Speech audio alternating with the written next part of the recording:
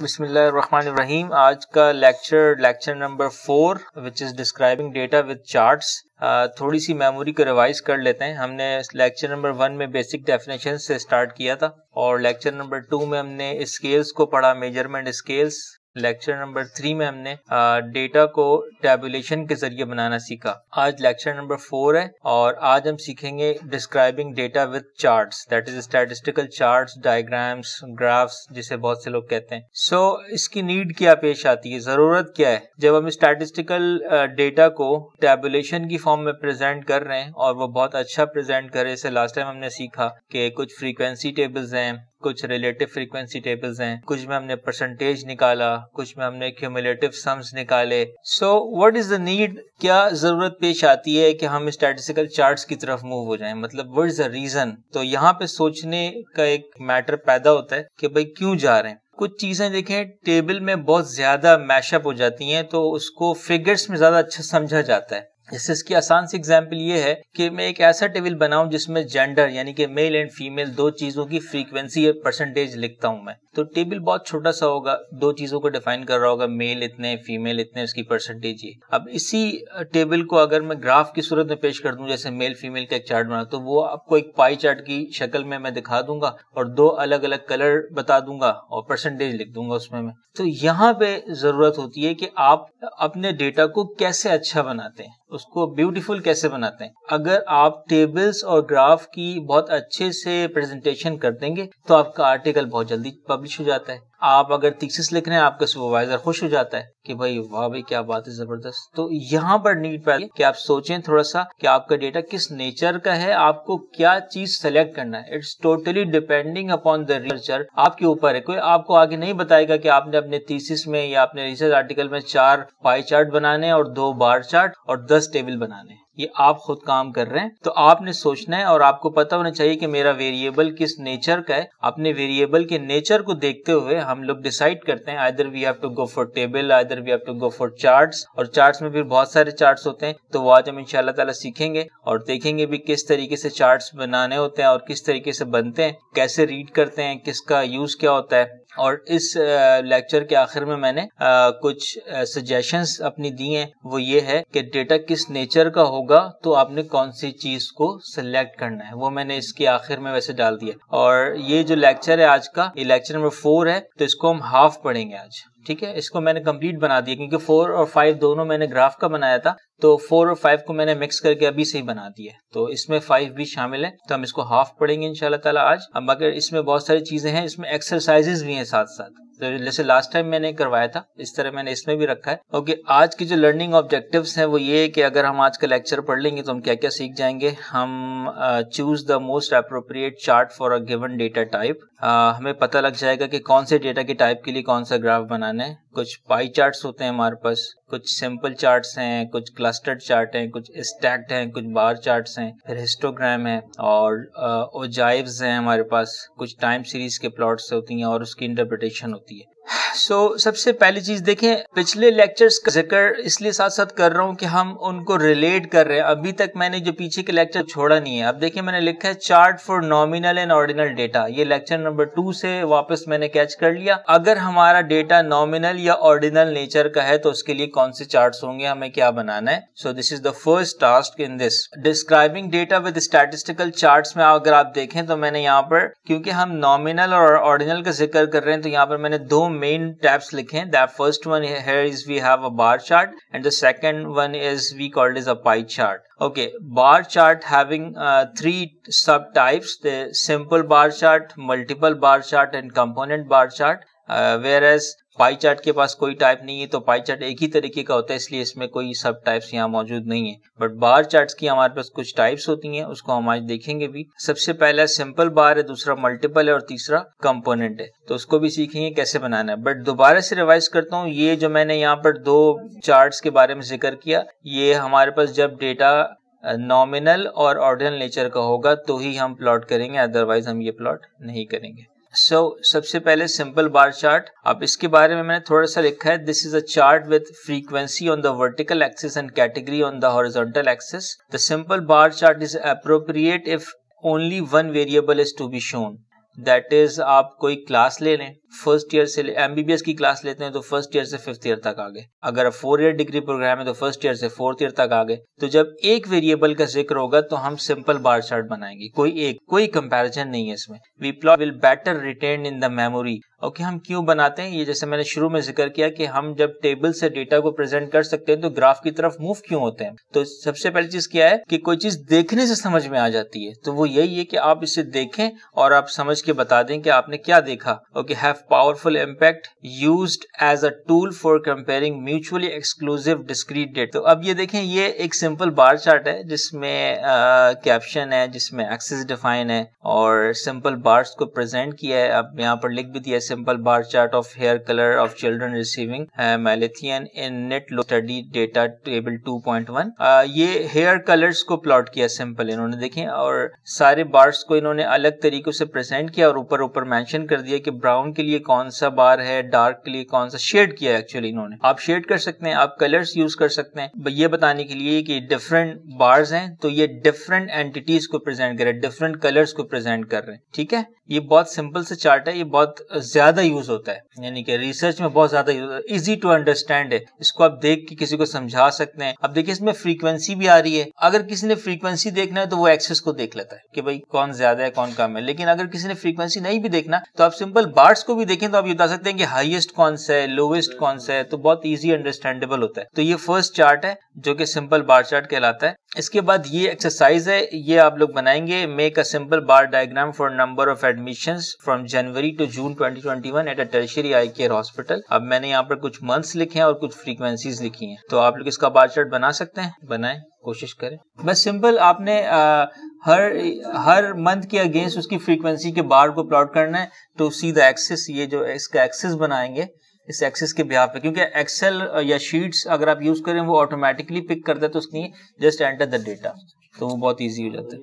So uh, the next here is we have a multiple bar chart. ये दो नाम लिखने के मकसद ये है कि डिफरेंट जगहों पे लोगों ने डिफरेंट नाम के ज़रिए इस चार्ट्स को यूज़ किया हुआ है। इसमें क्या है कि टू और more than two bars pertaining the same category can be group together for better and easy understanding यहाँ पर देखें वो था सिंपल बार चार्ट अब ये मल्टीपल है तो आपको पहले ही पता लग रहा है कि भाई यहाँ पर कोई ऐसी चीज़ है जो आपस में क्लैश हो रही है एक साथ आ रही है मल्टीपल है मिक्स है। अब यहाँ पर मैंने डेटा लिख दिया जो कि बॉयज़ एंड गर्ल्स का है और यहाँ पर डिफरेंट हेयर कलर्स हैं। तो ये डेटा है और ये सामने इसका प्लॉट है। यानी कि इस डेटा के ज़रिए अगर आप इसको टेबल में प्रेजेंट करेंगे तो ऐसे प्रेजेंट करेंगे और अगर आप ग्राफ में बनाएँगे तो ऐसे बनाएँगे। अब देखें अगर इसको आपने सिंपल यहाँ पर प्लॉट करना है बाय हैंड तो बहुत आसान है। फोर डिफरेंट कलर्स हैं तो आपने यहाँ पर कलर्स लिख देना है अपने एक्सेस डिफाइन करना है पहले। और फिर यहाँ पर इसकी फ्रीक्वेंसी लिखनी है। फ्रीक्वेंसी वाई एक्सेस पे आ गई। ये आपकी वाई एक्सेस है और ये आपकी एक्सेस है। कलर्स लिखा तो आपने चार कलर्स जो है, उसको यहाँ पे टेबल से डिफाइन कर दें। और फिर फ्रीक्वेंसी को देखें इसका बहुत आसान क्राइटेरिया वो ये है कि सबसे मिनिमम नंबर फाइंड करें और सबसे maximum number the minimum number is one here and the maximum is twenty nine ये आप दोनों में देख सकते हैं बॉयज़ और गर्ल्स दोनों की कॉलम में। आपने देखा, आपको मिनिमम मैक्सिमम पता लग अब आपने स्केल डिफाइन करना है। अब स्केल जो है, आप अपनी मर्ज़ी का सिलेक्ट कर सकते हैं। कोई सा भी टेबल रीड कर लें जिसमें वन और ट्वेंटी नाइन दोनों कवर हो जाए। तो अगर आप फाइव का टेबल रीड करते हैं, बहुत आसान five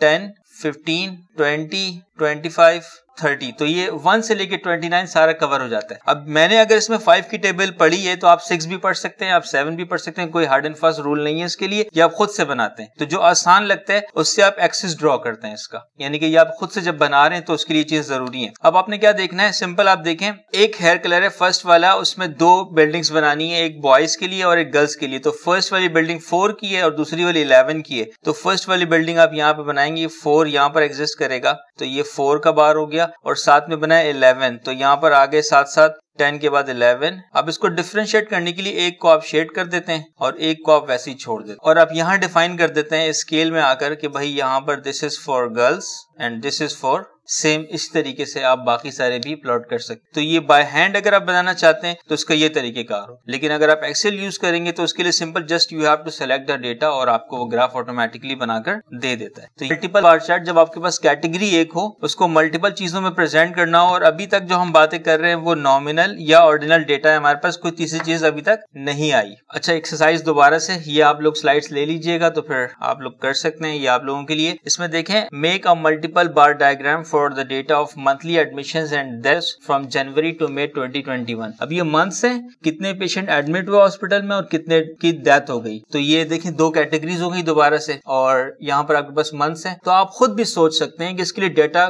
कौन सा ग्राफ बनाना है। अब ज़रूरी नहीं कि मैंने यहाँ पे तो क्वेश्चन में लिख दिया कि आपने मल्टीपल बार बनाना है बट अगर कभी ना लिखा हुआ हो तो आप खुद से सोच के कोई सा भी ग्राफ प्लॉट कर सकते हैं। तो आपको पता होना चाहिए कि आप करने क्या जा रहे हैं, ठीक है? ये एक्सरसाइज ये आप लोग खुद से करेंगे। Third category here is we have a sub divided bar chart which हम इसे बहुत सी जगहों पे मैंने देखा किताबों में स्टैक के नाम से भी कहा गया है। तो इसलिए मैंने यहाँ पर मेंशन कर दिया है कि कभी आप इस तरह का नाम देखें तो आपको पता होना चाहिए कि ये एक सब डिवाइडेड बार चार्ट है। It is divided into two और more components each part representing the certain variable proportional to the magnitude of the variable okay जैसे मैंने आपको पहले बताया कि इसके लिए कोई शर्त नहीं है रिसर्चर खुद से डिसाइड करता है कि उसको मल्टीपल बार बनाना या सब डिवाइडेड यानी कि द डेटा इज़ सेम जो अभी हमने मल्टीपल में देखा बट उसको बनाने का, उसको प्रेजेंट करने का तरीका कुछ और है आपके पास। अब यहाँ पर देखें, वही डेबिस को बॉयज़ और गर्ल्स की फॉर्म में प्रेजेंट किया है, लेकिन प्रेजेंटेशन वही है, क्योंकि स्केल में कोई फ़र्क नहीं आया। डेटा क्योंकि वही है बट प्रेजेंटेशन थोड़ी सी डिफरेंट हो गई यहाँ पर। अब इट्स डिपेंड कि आप क्या करना चाहते हैं। आपको कौन सा ग्राफ बेहतर लगता है, बनाने में आसानी होती है कौन सा अच्छा लगता है, वो आप बनाएँगे। तो data is same but condition are different जो अब आपको सूट करता है, आपने वो बनाना है। अब यहाँ पर क्या किया इन्होंने? बॉयज़ और गर्ल्स की दो बिल्डिंग बना दी और उसमें ब्रेकअप लगा दिया। हर हेयर कलर का एक ब्रेकअप लगा है। जैसे फ़र्स्ट वाला फोर है बॉयज़ पे देखें फोर पे एक कट ऑफ़ लगा हुआ है। फिर ट्वेंटी नाइन है तो आप देखें थर्टी वन के थोड़ा सा ऊपर जाके एक कट ऑफ़ लगाता है। तो इन्हीं फ्रीक्वेंसीज को यहाँ पर प्लॉट किया गया है बट एक ही बिल्डिंग में आपस में सब डिविजन की गई है। आ रही है बात समझ में। सो so, ये प्रेजेंटेशन का मोड है यानी कि आपने कैसे प्रेजेंट करना है ये आप खुद डिफाइन करेंगे कि आपका डेटा किस नेचर का है और आपने कौन सा ग्राफ प्लॉट करना है। इस वाले ग्राफ की खासियत सिर्फ़ ये होती है कि इसमें आप बहुत सारी चीज़ों को एक बार में प्रेजेंट कर सकते हैं। वो होता ही है कि जब हम कोई रिसर्च करते हैं तो जब वेरिएबल ज़्यादा होते हैं ना तो फिर हम कवर करने के लिए इस तरह की ग्राफ्स का यूज़ करते हैं। तो आपका क्या होता है कि एक ही ग्राफ में बहुत सी चीज़ें आ जाती हैं। तो ये तीन बार चार्ट है हमारे पास जिसको हमने देख भी लिया और सीख भी लिया। ये इसका एक्सरसाइज है। ये आप लोगों ने ड्रॉ करना है। एक सब डिवाइडेड बार चार्ट अब इसमें देखें मेल और फीमेल का डेटा है और वीक डेज़ है। तो आपने वीक डेज़ के अगेंस्ट मेल एंड फीमेल के डेटा को प्लॉट करना है। सिमिलरली सेम जैसे बॉयज़ और गर्ल्स हमने यहाँ पर देखा, आप यहाँ पर मेल एंड फीमेल को लिखें और सारे जो डेज़ है मंडे से लेकर फ्राइडे तक उसको आप कट ऑफ़ पॉइंट में एक ही बार के अंदर प्रेजेंट कर दें। तो ये आपका एक्सरसाइज है सब डिवाइडेड के लिए, जो की आपने मेल फीमेल का जो है प्लॉट करना है खुद से। Okay next is here is pie chart इसे हम सेक्टर डायग्राम भी कहते हैं। कुछ लोग सेक्टर डायग्राम के नाम से जानते हैं, कुछ पाई कहते हैं। It is a powerful way of expressing a qualitative data this circular chart is presented in percentages circle आप डी की बात करें तो डी 180 होता है। तो सर्किल कर ले तो 360 डबल हो जाता है। तो इसलिए इसको 360 से रिप्रेजेंट करते हैं पूरा सर्कल और यहाँ पर आप देखिए, बहुत सिंपल सा डेटा है जो कि मेल एंड फीमेल के, जिसमें फ्रीक्वेंसी और परसेंटेज दोनों लिखी गई है। उसमें, उसके लिए मैंने एक कॉलम जनरेट किया है एंगल ऑफ़ सेक्टर्स का। इसमें मैंने क्या किया? Simple each frequency is divisible divisible by the total and multiplied by 360 क्योंकि हम यहाँ पर परसेंटेज निकाल रहे हैं एक पाई चार्ट के लिए तो वो मल्टीप्लाई 360 से होगा। अदरवाइज़ बहुत सिंपल था, वो 100 से मल्टीप्लाई होता तो सिंपल परसेंटेज आ जाती और उसका सम 100 आता। तो अब आप देखें, जब हमने इसको सम करना है 112.5 एंड 247.5 को तो वो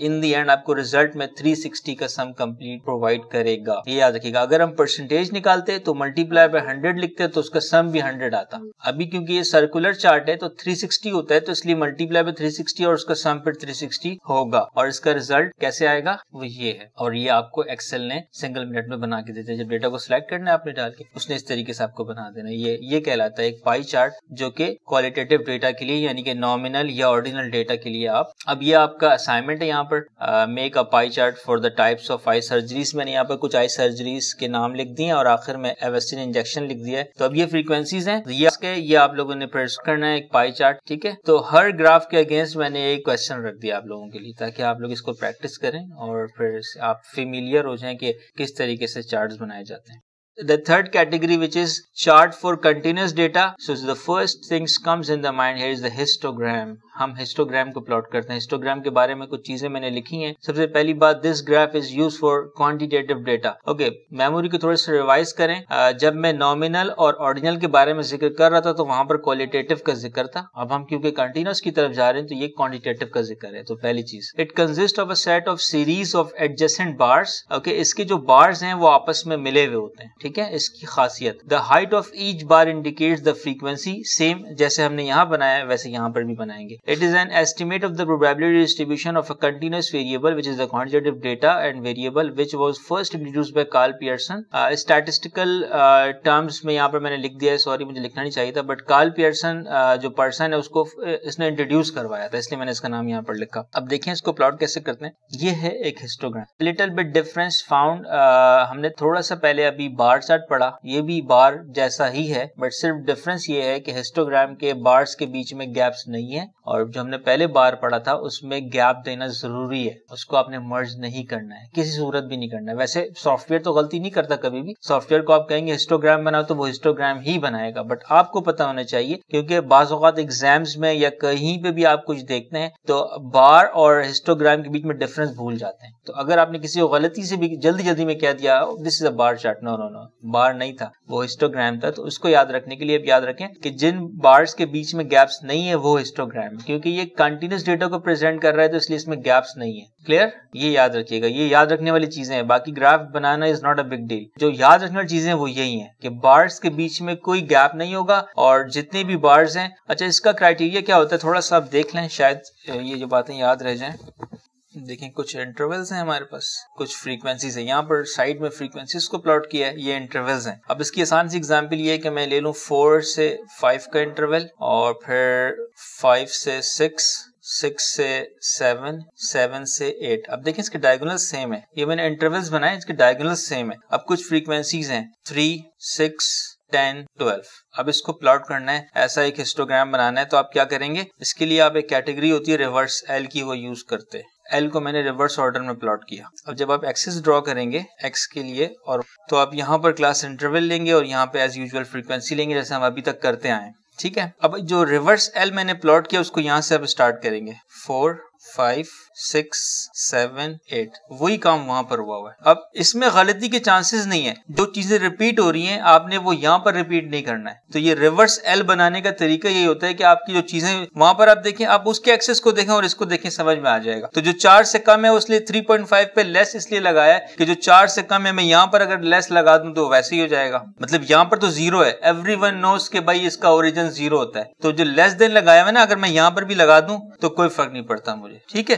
तो ये एक्सेस इस तरीके से ड्रॉ होता है, जो वहाँ पर आप देख रहे हैं, उसके बाद सिंपल बार्स है तो बार्स की फ्रीक्वेंसी क्या है? अब आप देखते जाएँ। फोर से लेकर फाइव एक इंटरवल है, जिसकी फ्रीक्वेंसी है थ्री तो ये है फोर से लेकर फाइव अब मैं इंटरवल थ्री से लेकर ट्वेल्व है तो थ्री सिक्स नाइन ट्वेल्व ये मैंने थ्री की टेबल से कर लिया। अब फोर से फाइव का इंटरवल की फ्रीक्वेंसी अगर थ्री है तो आप देखें फोर से फाइव तक जाने के लिए फ्रीक्वेंसी थ्री है, यहाँ पर आ जाए। क्योंकि ये एक इंटरवल है तो इसके दरमियान ही बार बनेगा जैसे वहाँ बना हुआ है। अब नेक्स्ट देखें, ये भी एक इंटरवल है, जो कि फाइव से लेकर सिक्स है, उसकी फ्रीक्वेंसी सिक्स है। तो फाइव का बार तो यही आ रहा है साथ साथ तो आप देखें, यहीं से कंटिन्यू करेंगे सिक्स पे आके रुकेंगे और यहाँ पर, ये देखें, अब इन बार्स के बीच में गैप नहीं है। जो हमने शुरू में सिंपल बार चार्ट बनाया था या देखा था, उसमें गैप्स था, क्योंकि वो किसी एक चीज़ की फ्रीक्वेंसी को प्रेजेंट कर रहा था। ये एक कंटिन्यूस डेटा को प्रेजेंट कर रहा है। अब बार्स इसके ऐड होते जाएँगे। तो एड जब होते जाएँगे तो इस तरीके का एक बार चार्ट बन जाएगा। ये इसकी है जो मैंने आप लोगों को बतानी थी। अगर इस पे कोई सवाल पूछना है तो ज़रूर पूछें। आगे बात समझ में? इसकी रिवर्स एल वाली टेक्नोलॉजी नहीं भूलिएगा कभी भी। Uh, so this is your exercise which is draw a histogram for hemoglobin level of 70 women. अब देखिए हेमोग्लोबिन के रेंजेस लिखी हैं यहाँ पर और फ्रीक्वेंसीज लिखा गया है यहाँ पर। अब आपने इसका एक हिस्टोग्राम प्लॉट करना है। अंडरस्टैंड सही है। वही टेक्नोलॉजी होगी रिवर्स एल वाली देखें। सेम है eight nine nine ten ten eleven reverse okay क्योंकि आप बाय हैंड करेंगे तो ऐसे बाकी सॉफ्टवेयर तो वो खुद ही कर देगा। तो ये टेक्निक ये उस वक्त के लिए जब आपके पास कभी सॉफ्टवेयर नहीं और आप हाथ से बना रहे हैं तो आप उसको इस तरीके से बनाएँगे।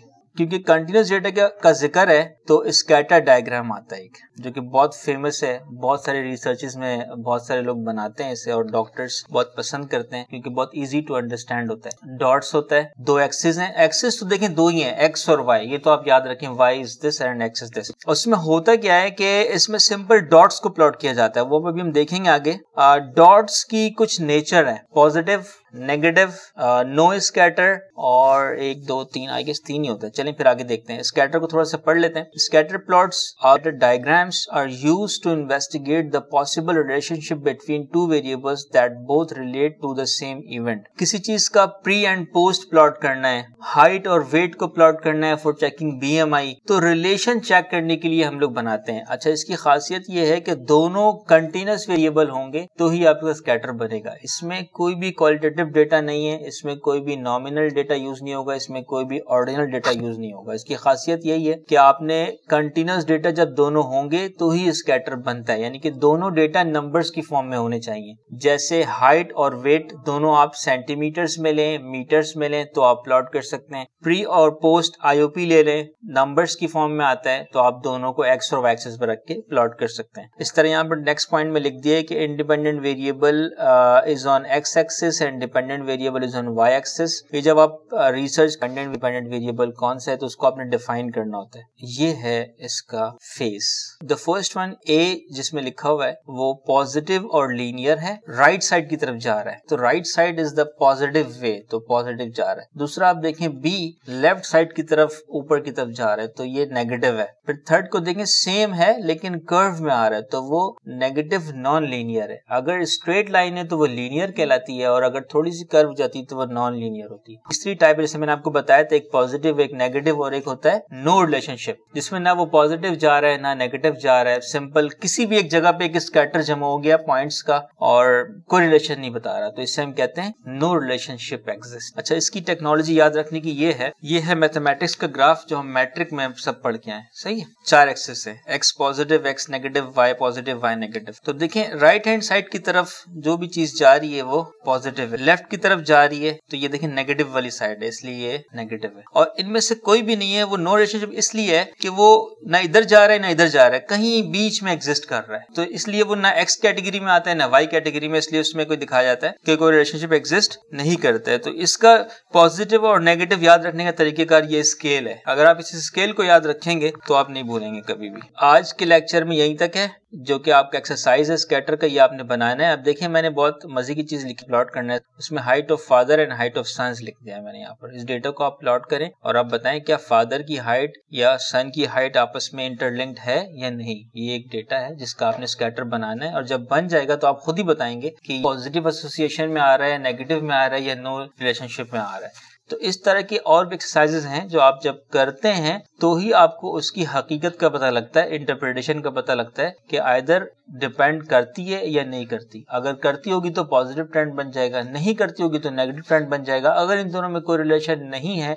तो आपके पास नो वाला बन जाएगा कि भाई है ही नहीं कोई रिलेशन लेकिन माइट भी पॉसिबल अगर फादर और सन की हाइट में कोई रिलेशन है तो वो पॉजिटिव ज़रूर बनेगा। और अगर नहीं है तो नेगेटिव बनना चाहिए उसे। जब आप बनाएँगे तो फिर रिज़ल्ट आएगा तो पता लगेगा। आप सब बनाए इसे एक्सेल में। Chart for cumulative data okay cumulative से पहले याद कर लें कि क्यूमुलेटिव फ्रीक्वेंसी हमने कैसे बनाई थी? जो फ्रीक्वेंसी का कॉलम होता है, उसकी फ़र्स्ट फ्रीक्वेंसी हम एज इट इज़ कॉपी कर देते हैं और फिर उसके डायगोनल्स को ऐड करते हैं। यानी फ़र्स्ट विद द प्रीवियस को ऐड करते रहते हैं तो हमारे पास क्यूमुलेटिव फ्रीक्वेंसी बन जाती है। इसको बनाने का रीजन बताया था मैंने लास्ट मैंने ये कहा था कि क्यूमुलेटिव है ना तो हम एक वर्ड हमने पढ़ा है डिस्क्रीट डिस्क्रीट क्या है? होल नंबर है। Zero one complete number break नहीं हो सकता। अब लेट सपोज़ जैसे हमारे पास नंबर है zero one two three four एक एग्ज़ाम्पल छोटी सी। अब उसके अगेंस्ट एक फ्रीक्वेंसी लिखी हुई है हमारे बराबर में। दो कॉलम है। एक में एक्स है, एक में फ्रीक्वेंसी लिखी हुई है, जैसे फ्रीक्वेंसी है टू सेवन नाइन कुछ भी है नंबर्स है। अब हम थर्ड कॉलम जनरेट करते हैं क्यूमुलेटिव फ्रीक्वेंसी का। वो कैसे करते हैं वो आपने बता दिया कि फ़र्स्ट फ्रीक्वेंसी को हम सेम एज इट इज़ लिख देते हैं, फिर डायगोनल्स को ऐड करते हैं तो सीएफ बन जाता है। उसका रीजन ये होता है कि लेट सपोज़ अब आपसे ये पूछा जाता है कि भाई पेशेंट्स का डेटा है लेट सपोज़ तो जो फ़र्स्ट कॉलम है zero one two three four represent कर रहा है नंबर ऑफ़ पेशेंट्स अभी पेशेंट आपके पास लेट सपोज़ पचास तक आता है तो आपने ज़ीरो वन टू से लेकर फिफ्टी तक आपने राउंड अबाउट कर दिया। अब मैं आपसे पूछूँ कि भाई सुबह ग्यारह बजे तक कितने पेशेंट आए थे? तो आप एक काउंट देख सकते हो टाइम वाइज आपने कहा कि भाई दस पेशेंट आए थे तो वो दस कैसे देखोगे? आप अपनी क्यूमुलेटिव फ्रीक्वेंसी में सम देखोगे कि टोटल कितने आए और यहाँ पर आके आप इसके टेन पे ब्रेक लगा दोगे। तो उसके पास जब ब्रेक लगा के थर्ड कॉलम का सम चेक करोगे तो आपके पास एक नंबर होगा, जो कि ऑलरेडी एडेड होगा। इसका मकसद ये था कि जब कभी आपसे ब्रेकअप में कोई चीज़ पूछी जाए तो आप उसका सम क्यूमुलेटिव का सम देखकर वो बता बता सकें। चाहे इसकी क्या आप ऐड करें कि भाई ज़ीरो वन टू टेन तक आगे फ्रीक्वेंसीज को आप ऐड करें, उसमें सम ऑलरेडी अवेलेबल होता है क्यूमुलेटिव फ्रीक्वेंसी में। तो वो ब्रेकअप का जो सम है बिना कैलकुलेट किए आप किसी को विद इन सेकेंड बता सकते हैं। So the first chart comes here in the cumulative section is the frequency polygon which is polygon और graphical device for understanding the shapes of distribution it is also called as ogive इसे ogive भी कहते हैं, इसे frequency polygon भी कहते हैं। इसकी जो है तीन टाइप्स हैं, एक नॉर्मल कर्व एक पॉजिटिव एक नेगेटिव है। ये तीन स्क्यूड है। जो मोस्ट ऑफ़ द स्टडीज़ में हम यूज़ करते हैं। यानी कि अगर मैं बायोस्टेट्स की ही बात करूँ तो इसमें इन तीनों कर्व्स का बहुत बड़ा रोल है। ये जो तीन कर्व्स हैं, ये हमारे डेटा की नेचर को बताते हैं। डेटा की नेचर तीन टाइप की है, एक नॉर्मल है, एक पॉजिटिव है और एक नेगेटिव है जो तीन यहाँ पर टाइप्स लिखी गई जब नॉर्मल कर्व होगा तो बायोस्टैट्स की लैंग्वेज में हम कहते हैं कि हमारा डेटा पैरामेट्रिक है। ये टर्म्स आप लोगों ने शायद सुने हो। एक टर्म है पैरामेट्रिक एक नॉन पैरामेट्रिक जिसकी बेसिस पे हम टेस्ट लगाते हैं। सो so, नॉर्मल के अलावा जो पॉजिटिव और नेगेटिव है अगर नॉर्मल नहीं बनता तो तीनों में से कोई एक ही एक वक्त में प्रेजेंट होगा। यानी कि अगर पॉजिटिव बन गया तो वो नॉर्मल नहीं हो सकता इसी तरीके से। तो पॉजिटिव और नेगेटिव तो डेटा हमारा कहलाएगा नॉन पैरामेट्रिक तो ये दो ही क्लासिफिकेशन है। डेटा के नेचर को डायग्नोज करने के लिए हम इन कर्व्स का इस्तेमाल करते हैं। ये देखें ये है नॉर्मल और शेप कर्व अच्छा इसको यहाँ पर इस तरीके से बनाने का मकसद ये है कि ये तो बेल शेप कर्व तो आप सब पहचान रहे हैं बेल शेप कर्व है नॉर्मल कर्व है। अब इसके पीछे हिस्टोग्राम प्लॉट हुआ हुआ है।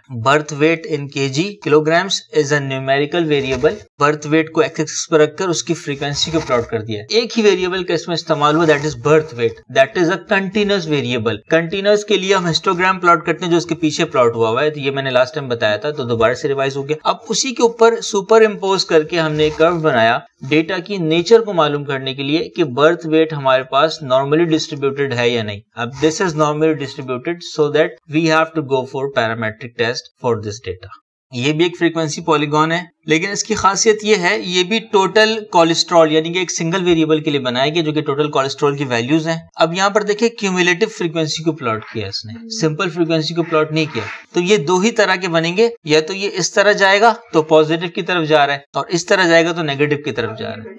अब ये देखें ये सेम यही फ्रीक्वेंसी पॉलीगॉन है cumulative frequency polygon height in centimetres is a number और यहाँ पर आप देखें आई डोंट नो बहुत सारे नंबर्स हैं जो कि क्यूमुलेटिव फ्रीक्वेंसी है। अच्छा इसमें और उसमें पुराने वाले में खासियत ये में परसेंटेज लिखा हुआ था इसलिए वो हंड्रेड तक था। अब ये नंबर है ये परसेंटेज नहीं है इसलिए हंड्रेड से एक्सीड हो रहा है। अच्छा और ये दिखाने का मकसद ये है कि पॉलीगॉन की दो ही टाइप्स हैं जो, जब जो इस तरीके से बनती है जो क्यूमुलेटिव के साथ बनती है तो ये यूँ जाएगा या तो ये यूँ। इसमें तीसरी कोई चीज़ नहीं है। जैसे इसमें तीन है फ्रीक्वेंसी के साथ बनाएँगे तो इस तरह इन तीनों में से कोई एक बन सकता है लेकिन क्यूमुलेटिव के साथ बनाएँगे तो या तो ये वाला बन जाएगा या तो ये वाला। कोई तीसरी चीज़ नहीं बन सकती। ये है क्यूमुलेटिव के चार्ट कर्व की तरफ़ जाने से पहले, अभी तो कब आप देख रहे हैं वैसे, थोड़ा सा डिफ्रेंशिएट कर दू। पॉलीगॉन और इसमें सिर्फ़ डिफरेंस ये होता है कि जब फ्रीक्वेंसी कर्व कवर्ड लिखा हुआ होगा तो वो फ्री हैंड कहलाता है। जब आप पॉलीगॉन ड्रॉ करते हैं तो पॉइंट्स को बाय स्केल मिलाते हैं। फ्री हैंड से नहीं मिलाते। लेकिन जब आप फ्रीक्वेंसी कर्व बनाते हैं तो आप फ्री हैंड से बना सकते हैं। बस इन दोनों में सिर्फ़ यही डिफरेंस है, और कोई डिफरेंस नहीं है। कर्व को बताने का मकसद और पॉलीगॉन को बताने का मकसद ये था कि ये सेम चीज़ों के प्लॉट हैं सेम तरीके से बनाए जाते हैं। बट अगर मैं इसी प्लॉट को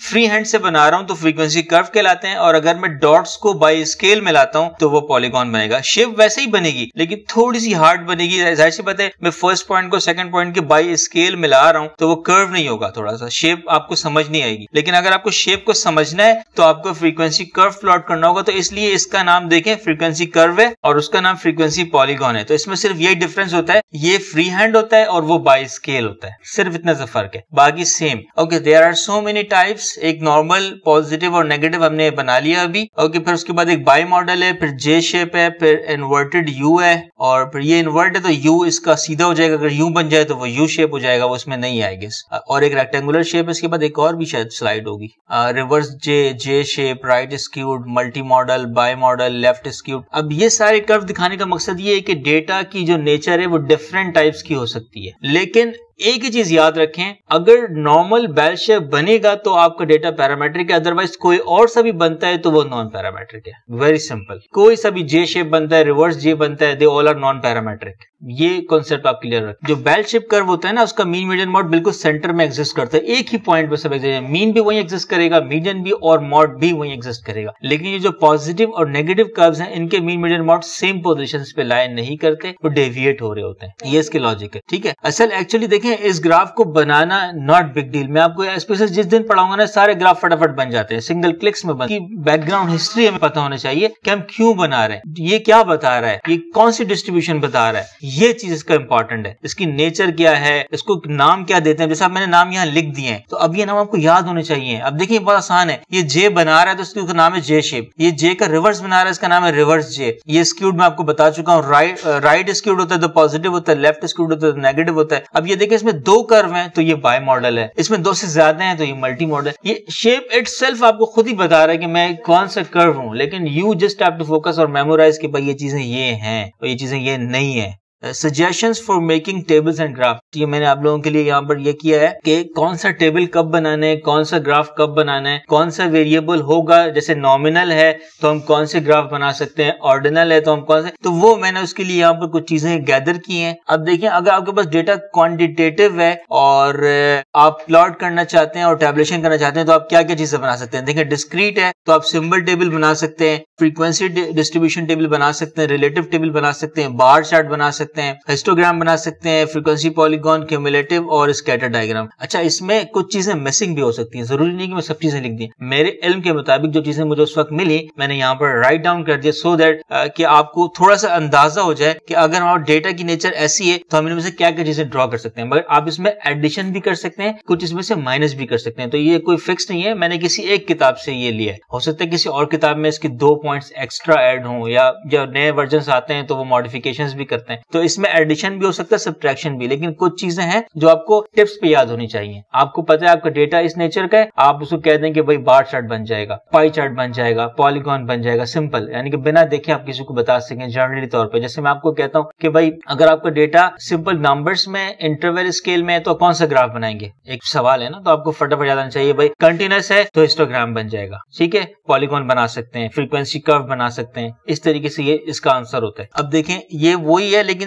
कंटिन्यूस आ जाता है यहाँ तो कंटिन्यूस हम क्या कर सकते हैं? फ्रीक्वेंसी डिस्ट्रीब्यूशन टेबल बना सकते हैं हिस्टोग्राम बना सकते हैं फ्रीक्वेंसी पॉलीगॉन बना सकते हैं क्यूमुलेटिव फ्रीक्वेंसी पॉलीगॉन बना सकते हैं और स्कैटर डायग्राम प्लॉट कर सकते हैं। तो ये आ, किसके लिए? जब हमारे पास डेटा कंटिन्यूस होगा। वो डिस्क्रीट के लिए था ये कंटिन्यूस के लिए। नेक्स्ट कीजिएगा। अब नॉमिनल के लिए और ऑर्डिनल के लिए। देखिए नॉमिनल के लिए relative frequency table bar chart और पाई चार्ट इसी तरह ऑर्डिनल के लिए भी बार चार्ट पाई चार्ट और सिंपल टेबल अच्छा इसमें यहाँ पर देखें ये नॉमिनल ऑर्डिनल डेटा होता है हमारे पास वो कैटेगराइज होता है तो उसके लिए सिंपल अगर हम फ्रीक्वेंसी टेबल बना रहे हैं तो साथ में हम उसका या तो बार बना सकते पाई बना सकते हैं। हिस्टोग्राम नहीं बनता, इसलिए यहाँ पर नहीं लिखा हुआ है। स्कैटर नहीं बनता, इसलिए यहाँ पर स्कैटर नहीं लिखा हुआ है। पॉलीगॉन नहीं बनता, इसलिए पॉलीगॉन यहाँ पर नहीं लिखा हुआ है। वो सारे जो कर्व हमने पहले अभी पढ़े, वो कंटिन्यूस डेटा के वो डिस्क्रीट डेटा के ये हमारे पास कैटेगोरिकल डेटा इसलिए यहाँ पर इसके लिए बार और पाई है। अभी हमने पॉलीगॉन भी देखा, अभी हमने फ्रीक्वेंसी कर्व भी देखा। अब उससे रिलेटेड एक बात याद आई, वो ये कि एक ग्राफ है, उसको एक्सेल में हम बोलते हैं लाइन चार्ट जैसे ट्रेंडिंग चार्ट होता है ना, जैसे ट्रेंड जा रहा होता है ऊपर की तरफ़। तो ये एक्चुअली लाइन चार्ट जो होता है ना, वो पॉलीगॉन ही है। ट्रेंडिंग चार्ट होता है ना अपवर्ड इंक्रीज हो रहा है डाउनवर्ड आ रहा है, नीचे आ रहा है तो वो लाइन चार्ट कहलाता है। तो लाइन चार्ट ये पॉलीगॉन ये एक ही चीज़ है। Polygon is a statistical name और line chart is I guess English name और जो भी कहें तो वो एक्सेल जो ये लोग यूज़ करते हैं तो उसमें लाइन चार्ट के नाम से तो पॉलीगॉन लाइन चार्ट से ही बनेगा एक्सेल में अगर आप बनाएँगे तो। लेकिन अगर आप में आई गेस लाइन चार्ट भी लिखा हुआ है